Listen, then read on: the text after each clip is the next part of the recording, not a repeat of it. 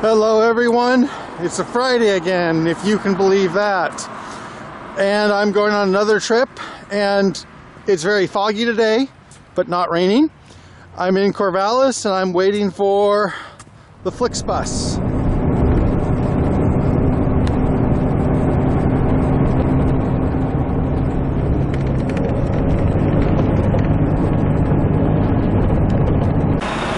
I just got off of my Flixbus and I'm in Salem, Oregon. The fog is starting to melt off a little, but it's still pretty cold and foggy. And uh, I have an hour here. This is Salem Center. It's a downtown shopping mall with sky bridges.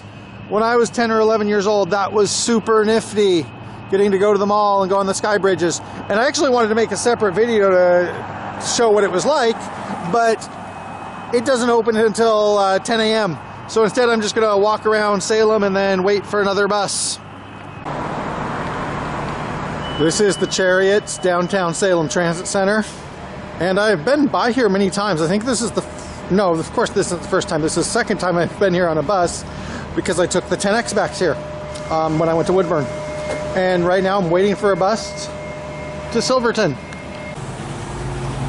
This is Silverton, Oregon about 12 miles east of Salem.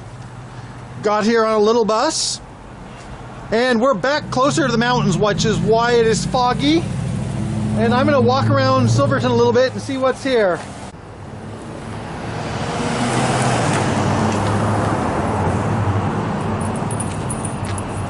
Like some uh, Willamette Valley towns, and mo more than most, uh, Silverton still has a downtown.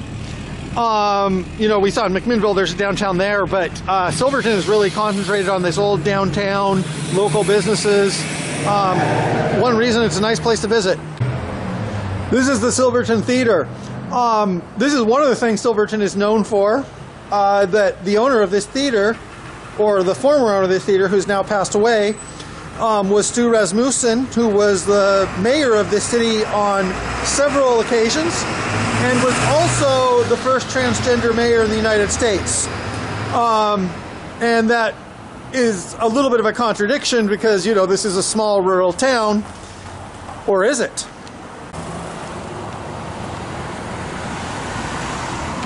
Some, but not all, of the businesses in downtown Silverton are related to tourism.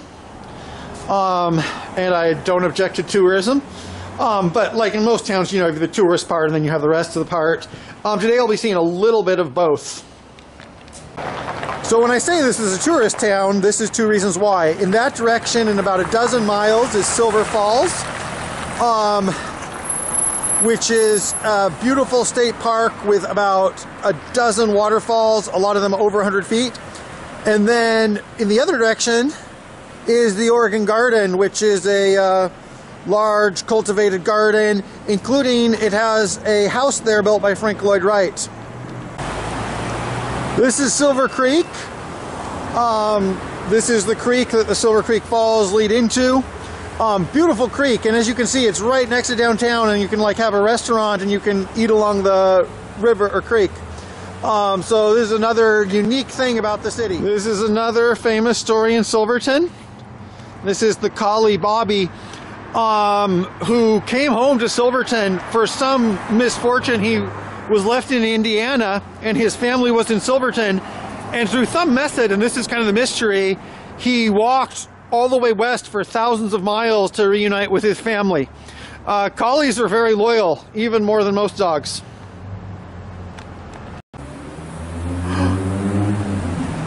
This little bridge is, is very magical. I'm gonna go and walk and see what's here. So there we have a community center. Here we have a library. I got a helpful little map there. And right here we have the Silverton Historical Society Museum. So this area has a lot of uh, local flavor and a lot of natural beauty. And uh, some of that natural beauty I'm gonna see once I leave the parking lot.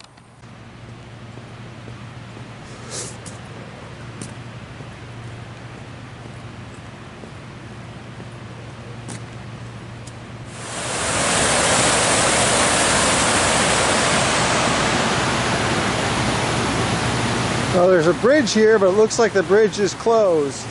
The bridge is not closed, but there is work here, including there's two people in the water, and I hope they're staying warm because it's like freezing out, literally. So we are in a park along the bank of the river. Today I actually only have uh, two hours here. So on another day, maybe I would see how far this trail goes. Uh, today I'm just gonna walk for five minutes and uh, then turn around, go back into town.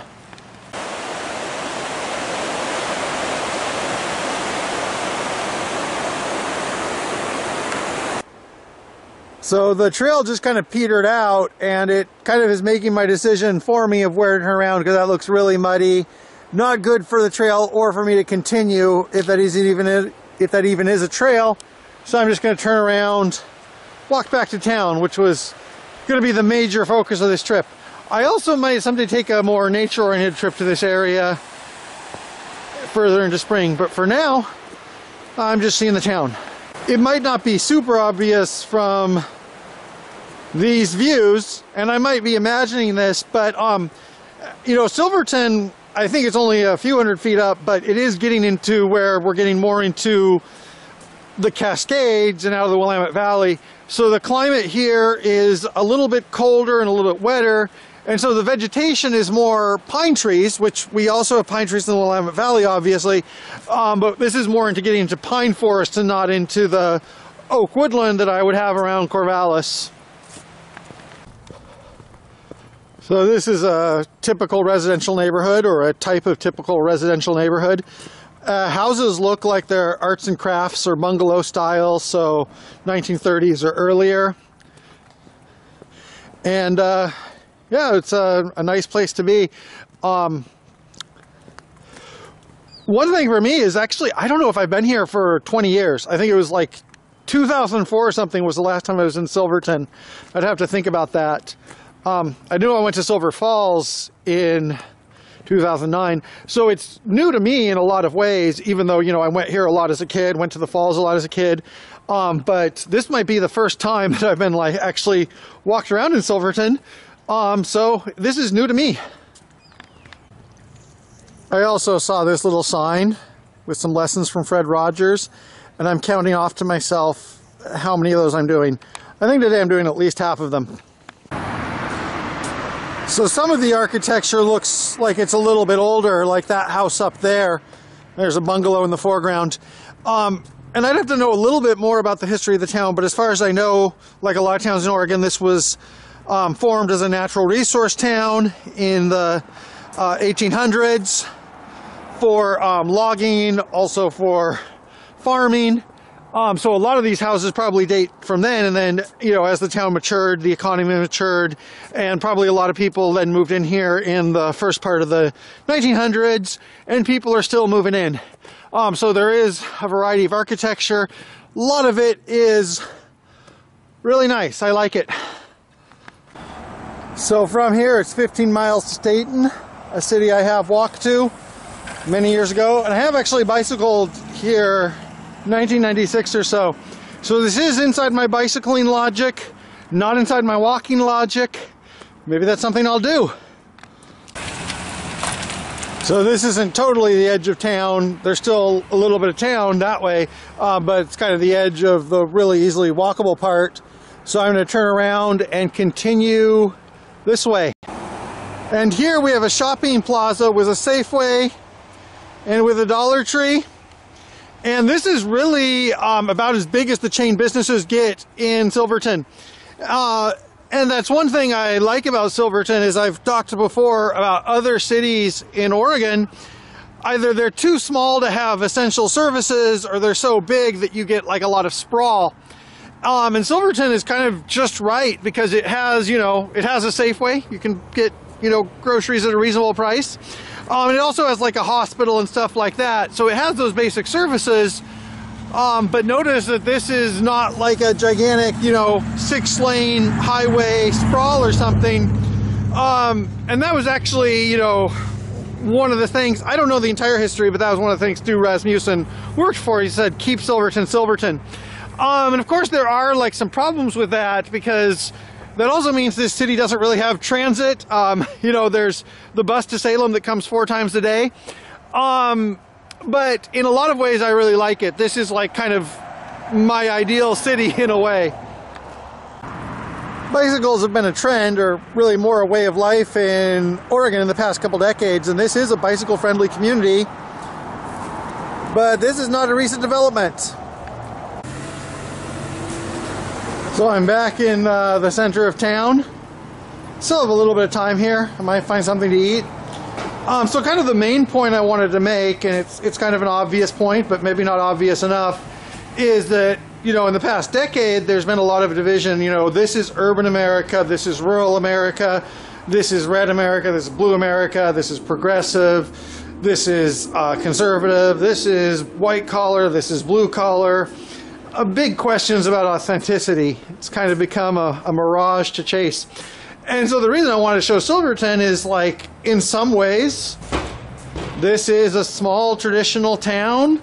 Um, like you know this is in some ways this is a small traditional town um, you know and it's in a rural area 10,000 people in Marion County which is 300,000 people which is still not that big um, but on the other hand you know this was the first city in the United States to get a transgender mayor um, and so you know there's kind of a stereotype you know that New York and San Francisco, the big cities, are where that happens. Um, and so I just wanted to show, you know, this is this is a town that you could take two ways. This is a necker necker cube of a town. Um, in some ways, this is a, um, you know, in some ways this is a small farming town. Um, in other ways, this is like a kind of urban place with stuff going on. Um, and in some ways, also some of that's facile because um, you know, tourism is not the basis of a town. You can't just have a town totally based around tourism. Uh, not a, not a large town. Um, so some of that, like you know, you get a little bit out of town, and then you out of downtown, and then you see the other side. You know, but I did just want to show, you know, there's a lot going on here, and hopefully I've shown enough that you can decide on your own what type of town this is. So we have a pod here, cart pod. There's only four of them. Maybe there would be more if it was not you know, January. Did I mention it's January? And this is super high tech because I actually got this like little key, electronic key, and I can like sit here under a heat lamp and wait for this to buzz. So, uh, yeah, it's another good thing about Silverton. And uh, also, we have an outdoor patio here, and this would again be more pleasant in be more pleasant in spring or summer, but you could like just sit here, eat your pizza, and watch the river, watch the creek. And actually, now that I say that, I have no idea why I would ever do anything else with my life than eat pizza by the side of this creek. So I'm at the bus shelter. I'm waiting for my bus. I have 10 minutes to go. Um, the bus in that direction continues on to Woodburn through Mount Angel. Um, I've been to Woodburn, haven't been to Mount Angel for a long time. I'd like to take a trip there. Um, and this is a really nice bus shelter for a bus that only comes five times a day. Um, and one thing is, is like, you know, even though I talked about this city is nice and small and charming, one thing is that without a transit system, you can't have a downtown like this for long, you know, as it gets bigger because then you know everybody's going to park downtown you have to widen streets there's you know not a nice place where pedestrians can stroll and eat. Um, so it works for this because it's like a tourist town but if and when this city gets bigger you know not having a transit system all the people that live in the neighborhoods outside of downtown if they do want to visit downtown are going to be driving here so that is one thing um, that a lot of times a lot of times smaller towns can remain charming because they don't have those problems yet. Um, so it's kind of like on the surface. And I'm not saying that to be too negative, but uh, you know, like a lot of tourist towns, this city can exist for a while because it's a small tourist town. As it gets bigger, it will have other problems. Uh, so at least that's my my way of looking at it. Um, but still, it's a really nice place. Uh, I had a fun day today, and I'm going to be taking this bus back to Salem.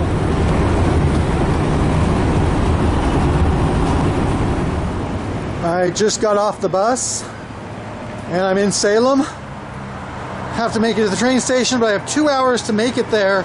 So I'm going to see some other stuff while I'm here. So there's the train station. 20 minutes my train will be getting here, so I don't have to wait too long.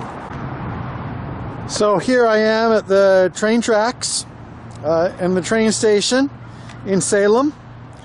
And I've probably complained enough about the last mile pro problem that I'm not going to do it again. Just kidding.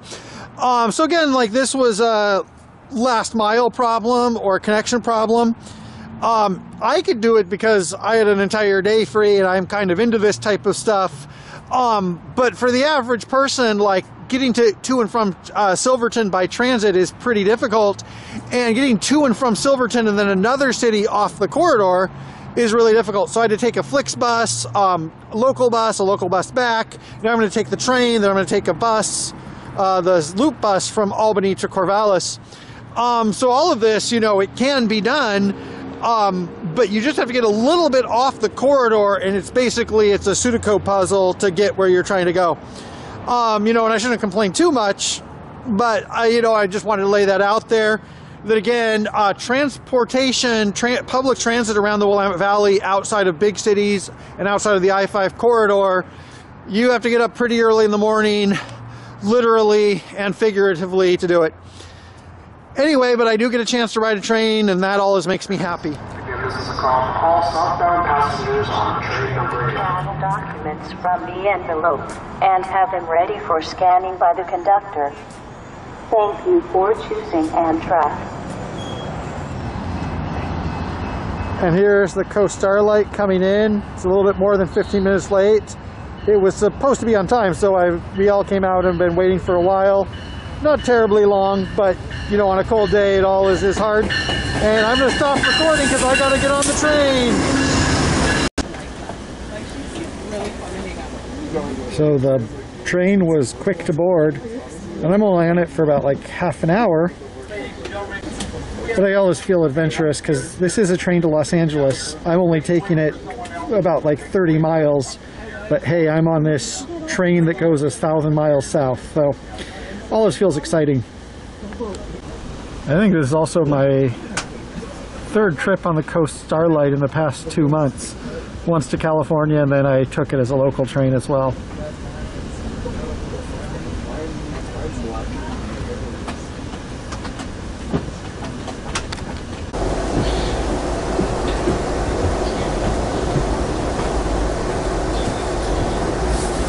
So we're rolling through south of Salem, and I'll have like about 10 minutes to enjoy, the lounge car so before it's time to start disembarking.